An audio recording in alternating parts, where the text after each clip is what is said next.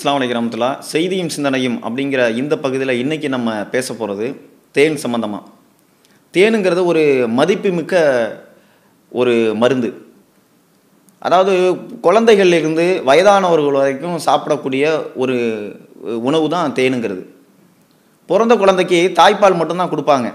ஏன்னா அதை தான் அது செரிக்கும். அந்த குழந்தைக்கு கூட இந்த தேனை என்ன செய்வாங்கன்னா அதோடைய உதட்டில் தடவி வைப்பாங்க. அப்போ ஒரு குழந்தைக்கு கூட செரிமானத்தை ஏற்படுத்தக்கூடிய ஒரு உணவாக இந்த தேன் இருக்குது. பல்வேறு விதமான நோய்களுக்கு இந்த தேனை தான் வந்து என்ன செய்வாங்கன்னா மருத்துவர்கள் சாப்பிடுங்க அப்படின்னு சொல்லி நமக்கு பரிந்துரை பண்ணுவாங்க. சுகர் நோயாளிகள் கூட வந்து சுகரை தள்ளி வைக்கும் பொழுது தேன் சாப்பிட்டா உங்களுக்கு எந்த பிரச்சனையும் இல்லை அதையும் நீங்கள் சாப்பிட்லான்னு சொல்லி மருத்துவர்களே சொல்கிற அளவுக்கு இந்த தேனுக்கு அவ்வளோ பெரிய நற்சான்றிதழ் வந்து சொல்கிறாங்க இப்படிப்பட்ட தேன் வந்து நிறைய மருத்துவ குணம் உடையது அப்படிங்கிறத நோய் நிவாரணையாகவும் இருக்குது அப்படின்னு சொல்லி அல்லாவும் திருமறை குரானில் சொல்லி காட்டுறான். அப்படிப்பட்ட இந்த தேனில் கடுமையான கலப்படங்கள் வந்து நிகழ்த்தப்படுது அப்படின்னு சொல்லி இப்போ ஒரு ஆய்வில் வந்து கண்டுபிடிச்சிருக்கிறாங்க. அதாவது உணவுப் பொருட்களில் நிறைய கலப்படம் செய்கிறத நம்ம பார்க்குறோம். ஆனால் வந்து அதிகமான கலப்படம் செய்யக்கூடிய ஒரு பொருள் எது அப்படின்னு சொன்னால் அது தேன் தான் அப்படின்னு சொல்லி ஒரு ஆய்வு வந்து இன்றைக்கி சொல்லிக்கிட்டு இருக்கு. அதாவது சில பொருட்களில் பத்து சதவீதம் கலப்படம் பண்ணுவாங்க சில பொருட்களில் இருபது பண்ணுவாங்க சில பொருட்களில் முப்பது சதவீதம் பண்ணுவாங்க சில பொருட்களில் பாதிக்கு பாதி கலப்படம் பண்ணி விற்கிற காட்சியெல்லாம் பார்க்குறோம். ஆனால் ஒரு பொருளில் எண்பது சதவீதம் அளவுக்கு கலப்படம் பண்ணி அதை சந்தையில் வந்து விற்க முடியும் அப்படின்னு சொன்னால் அது தேன் தானா? தேனில் வந்து எண்பது சதவீதம் கலப்படம் பண்ணி இருபது சதவீதம் மட்டும்தான் தேனை கலக்கிறாங்க அப்படின்னு சொல்லி சில ஆய்வுகளில் வந்து சொல்லப்படுது. தேன் சம்பந்தமான கலப்படம் குறித்த விஷயங்களை வெளி உலகத்துக்கு இன்றைக்கி கொண்டு வந்தது யார் அப்படின்னு பார்த்தீங்கன்னா டவுன் டு எர்த் அப்படின்னு சொல்லி ஒரு அமைப்பு. இந்த அமைப்பு என்ன செய்யுதுன்னா தேனை வந்து இந்தியாவில் கிடைக்கக்கூடிய பதிமூணு வகையான கம்பெனிகளுடைய தேனை ஆய்வுக்கு உட்படுத்துது.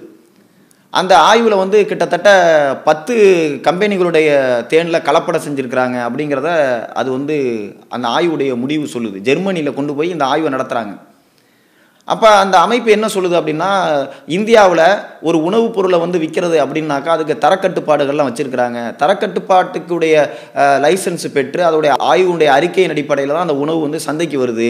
அப்படி இருக்கும் பொழுது இது வந்து எப்படி இதில் இவ்வளோ பெரிய கலப்படம் இருந்தது? எப்படி இந்திய அரசுக்கு தெரியாமல் இருந்துச்சு? எப்படி இந்த உணவு கட்டுப்பாட்டு துறைக்கு தெரியாமல் இருந்துச்சு? அந்த அளவுக்கு தான் இவங்களுடைய கண்டுபிடிப்பு முறை இருக்குதா? அப்படிங்கிற ஒரு கேள்வியும் வந்து அவங்க முன்வைக்கிறாங்க.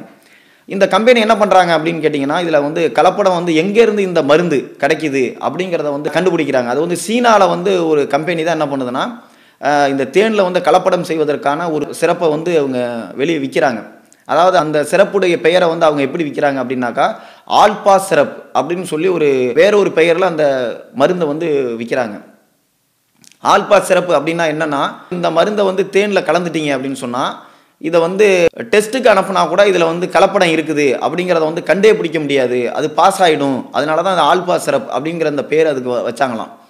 இதை வந்து என்ன பண்ணுறாங்கன்னா இந்த நிறுவனம் சீனாவுக்கு வந்து மெயில் அனுப்பி அந்த சம்மந்தப்பட்ட கம்பெனிகளுக்கு மெயில் அனுப்பி நாங்கள் வந்து இந்த மாதிரி ஒரு ப்ராடக்ட் பண்ண போகிறோம் எங்களுக்கு இது மாதிரியான அந்த சிறப்பு தேவைப்படுது அப்படின்னு சொல்லி அவங்க கேட்குறாங்க அப்படி கேட்கும்பொழுது அவங்க அந்த கம்பெனியிலேருந்து தரக்கூடிய பதில் எப்படி இருந்துச்சு அப்படின்னா நாற்பது சதவீதம் கலப்படம் பண்ணுறாக்கா அதுக்கு இந்த அந்த சிறப்புக்கு இன்ன ரேட்டு ஐம்பது சதவீதம் நீங்கள் தேனில் கலப்படம் பண்ண போகிறீங்களா அதுக்கு இன்ன ரேட்டு அறுபது சதவீதம் கலப்படம் பண்ண போகிறீங்கன்னா அதுக்கு ஒரு சிறப்பு இருக்குது அதுக்கு இன்ன ரேட்டுன்னு சொல்லி அவங்க கலப்படத்திற்குரிய விகிதத்துக்கு தகுந்த மாதிரி அந்த ரேட்டை வந்து அவங்க நிர்ணயிச்சிருக்கிறாங்க. இப்போ இந்த கலப்பட மருந்துகள்லாம் வந்து சீனா வழியாகத்தான் வந்து விற்கப்படுது அது இந்தியாவிலையும் வந்து விற்கப்படுது அப்படிங்கிறதையும் டவுட் எர்த்துங்கிற அந்த அமைப்பு வந்து சொல்லுது. இது இந்தியாவிலையும் இது வந்து கிடைக்கிது. அப்படிங்கிறத வந்து அவங்க சொல்கிறாங்க இப்படி கலப்படம் பண்ணப்பட்ட அந்த கம்பெனிகளில் பதாஞ்சலி அதே மாதிரி பார்த்தீங்கன்னா டாபரு அப்பீஸ் ஹிமாலயா அப்படின்னு சொல்லி பல கம்பெனிகள் வந்து இந்த கம்பெனிகளுடைய பெயரில் வரக்கூடிய தேன்லையெல்லாம் கலப்படம் இருக்குது அப்படிங்கிற ஒரு விஷயத்தை வந்து வெளி உலகத்துக்கு அவங்க கொண்டு வந்தாங்க. இது பத்திரிகையிலலாம் வந்து செய்திகளாக வந்துச்சு. இப்போ இந்த கலப்படத்தினால ஏதோ ஒரு பொருளை வந்து கலப்படம் பண்ணி விற்கிறாங்க அப்படிங்கிறத மட்டும் நம்ம கடந்து போயிட முடியாதுங்க. இதில் மிகப்பெரிய ஒரு பாதிப்புகளை வந்து ஏற்படுத்தும்.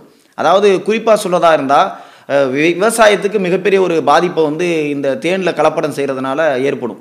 அதாவது ஒவ்வொரு விளைச்சல் பொருட்களையும் வந்து அதிகப்படுத்துறதுக்கு முக்கிய தேவை என்ன அப்படின்னு கேட்டிங்கனாக்கா பூவில் இருக்கக்கூடிய அந்த மகரந்த சேர்க்கை நடைபெற்றால் தான் வந்து விளைச்சல் வந்து அதிகமாகும். அதாவது ஒரு பூவில் வந்து ஒரு வண்டு உட்காந்து அதில் வந்து அந்த பூவில் இருக்கக்கூடிய அந்த மகரந்த பொடிகளை எடுத்துக்கிட்டு அதை காலில் ஒட்டிடும்.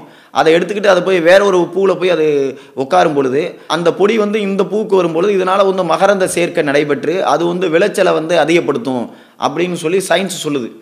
அப்போ இந்த தேன் வந்து கலப்படம் செய்கிறதுனால என்ன மாதிரியான பாதிப்புகள் ஏற்படும் அப்படின்னா தேன் பூச்சியை வளர்த்தா தான் நம்ம வந்து தேன் வந்து கிடைக்கும் நமக்கு. அப்போ தேன் பூச்சி வளர்த்து நம்ம தேன் எடுக்க வேண்டியதில்லை. அது மாதிரி கலப்படம் செஞ்சே நமக்கு கிடைக்கும் அப்படின்னாக்கா சந்தையில் இலகுவாக தேன் கிடைக்க ஆரம்பிச்சிருச்சுன்னா யாரும் தேன் பூச்சை வளர்க்க மாட்டாங்க. தேன் பூச்சி வளர்க்காதனால மரகந்த சேர்க்கைங்கிறது வந்து நடைபெறாமல் போகும். மகரந்த சேர்க்கை நடைபெறலைனாக்கா விவசாயத்தில் வந்து விளைச்சல் குறைஞ்சு போயிடும். விளைச்சல் குறைஞ்சு போச்சுன்னா விவசாயம் பாதிக்கப்படும். அப்போ இவ்வளோ பெரிய ஒரு பாதிப்புகள் வந்து இந்த ஒரு சாதாரணமாக நம்ம கருதக்கூடிய இந்த தேனில் கலப்படம் செய்கிறதுனால மிகப்பெரிய ஒரு பாதிப்புகள் நமக்கு ஏற்படும்.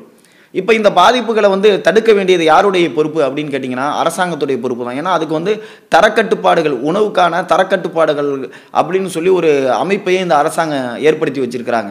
எஃப்எஸ்எஸ்ஏஐ அப்படின்னு சொல்லக்கூடிய இந்த அமைப்பு வந்து என்ன செய்யணும் அப்படின்னா சரியான முறையில் கலப்படம் இல்லாத பொருட்களை சந்தையில் விற்கணும் இன்னைக்கு நம்ம அரசாங்கத்துடைய கட்டுப்பாடு தரச்சான்றிதழ் பெற்று தான் இந்த பொருள்லாம் சந்தைக்கு வருது அப்படிங்கிறத நம்பி இன்னைக்கு என்ன பண்ணுறாங்கன்னா மக்கள் போய் அந்த தேனை வாங்கி சாப்பிட்றாங்க. ஆனால் அதில் என்ன செய்யுதுன்னா மிகப்பெரிய ஏமாற்றம் தான் அவங்களுக்கு கிடச்சிருக்கு. இன்னும் சொல்லதா இருந்தாக்கா தேனை வந்து இன்னைக்கு மருத்துவர்கள் வந்து எல்லாரும் சாப்பிடுங்கன்னு சொல்லி நமக்கு அறிவுறுத்துறாங்க. ஆனால் அது கலப்படம் இல்லாத தேனை சாப்பிட்டா தான் நமக்கு அதுக்கு வந்து எனர்ஜி கிடைக்கும் உடம்புக்கு. ஆனால் கலப்படமான தேன்களை சாப்பிடும் பொழுது அதுவே அந்த நோயாளிகளுக்கு அது ஒரு நோயை ஏற்படுத்தக்கூடிய வகையில் உடலில் பாதிப்புகளை தான் அது ஏற்படுத்தும். அப்போ இந்தியாவில் வந்து அரசாங்கம் செய்ய வேண்டியது ரெண்டே ரெண்டு விஷயம்தான். இந்த மாதிரியான கலப்படமான தேனை வந்து சந்தையில் வந்து விற்பதற்கு அனுமதிக்காமல் அந்த கலப்படம் செய்யக்கூடிய முறைகளில் நிறைய கட்டுப்பாடுகளை ஏற்படுத்தி அந்த சந்தையில் வந்து கலப்படம் இல்லாத தேனை மக்களுக்கு கிடைக்கிறதுக்கு வழிவகை செய்யணும். அதே மாதிரி இந்த சைனாவிலிருந்து கிடைக்கக்கூடிய அந்த கலப்படம் செய்யக்கூடிய அந்த சிறப்பாக இருக்கிற ஆல்பா சிறப்புங்கக்கூடிய அந்த சீனாவுடைய அந்த சிறப்பை தடை செய்யணும். அதை வந்து இந்தியாவுக்குள்ளார இம்போர்ட் பண்ணாமல் வந்து நிறுத்தணும். அப்போ தான் வந்து இயற்கையான அந்த தேன் வந்து மக்களுக்கு கிடைக்கும். அதை எல்லா மக்களும் இன்றைக்கி குழந்தைகளிலிருந்து வயதானவங்க வரைக்கும் ஒரு மிக சிறந்த உணவாக பயன்படுத்துகிறாங்க இதுக்கு உத்தரவாதத்தை அரசாங்கம் ஏற்படுத்தணும் அப்படிங்கிறது தான் இன்றைய செய்தியும் சிந்தனையில் நம்ம சொல்லிக்கொள்கிறோம்